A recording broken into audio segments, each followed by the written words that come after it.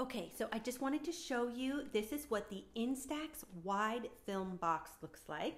And this box comes with 20 uh, pieces. So it comes into two packs of 10. So this is one pack of 10, and then there's another one that's in the box as well.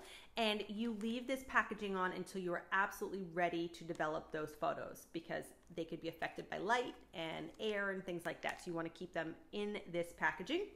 A good way to store them is to keep them in the refrigerator. That is a nice way to keep them fresh and not losing their color.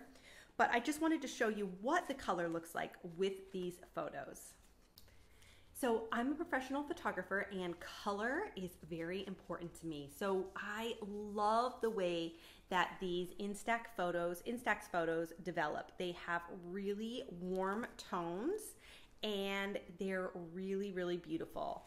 These are photos that I took with my DSLR and then I actually printed them on this film with one of the Fujifilm Instax printers and they came out looking almost exactly as good as when they were in my camera and on my computer. So I am, am super excited for these and I love this film.